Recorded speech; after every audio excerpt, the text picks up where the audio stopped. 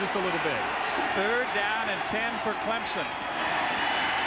Cameron steps up, looks long to the end zone. Way out of bounds and incomplete. Great catch by the fan. It was intended for Smith. Willie Clay was there.